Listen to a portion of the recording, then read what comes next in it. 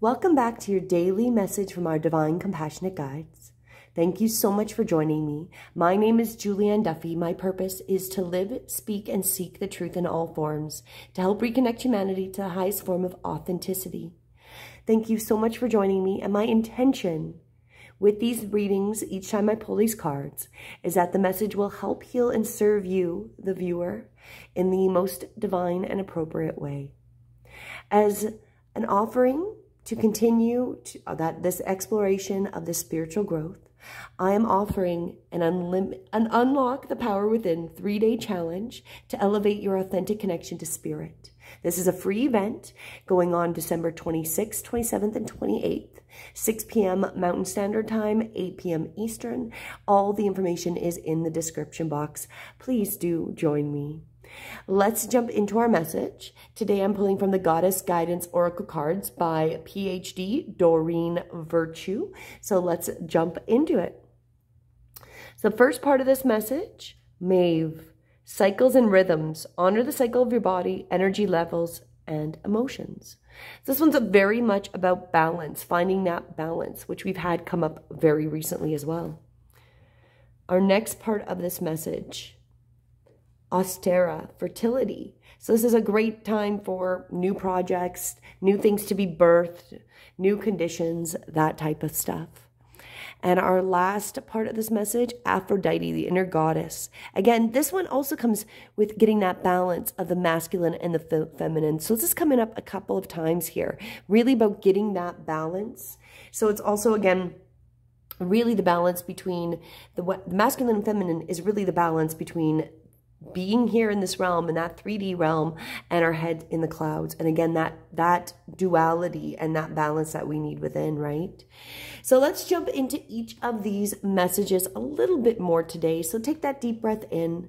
And as we exhale, let's just dive right into Maeve So honoring the cycles and our energy. So this one is really that all of our life is cyclical. The moon, the stars, the very universe. Life inhales and then exhales again.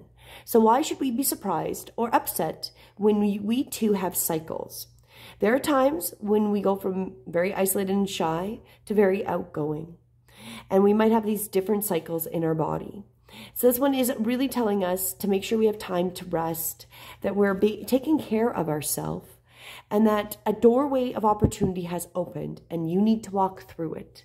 So that's part of this as well, is that that doorway that we've been encouraged and guided to go towards is open. That's part of this. This is the cycle towards it. And it's time for us to take that step forward. And then if we jump to our Ostara, the fertility, here we see, and here, here we see, where, here we see, here we see the, the basic idea of, you know, this is a time for where light increases, where the things that we've been putting our energy towards are starting to come into fruition.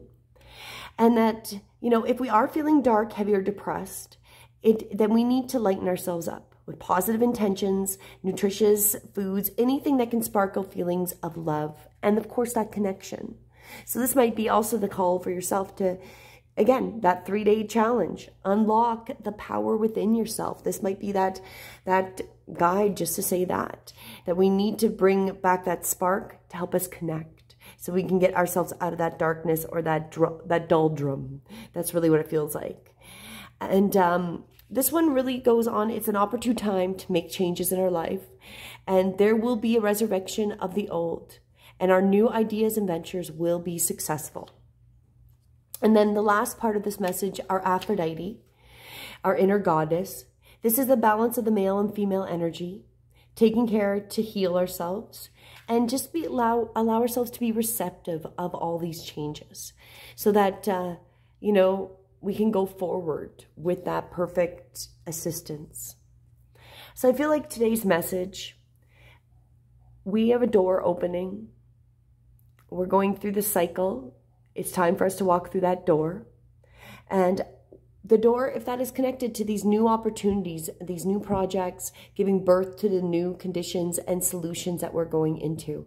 But it's going to be important that we have a balance. We've got the balance as we go forward to manifest in the most divine and appropriate way.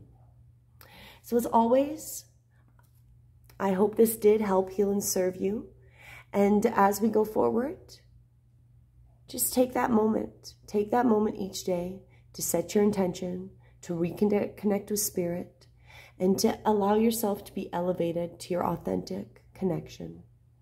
Until tomorrow, namaste.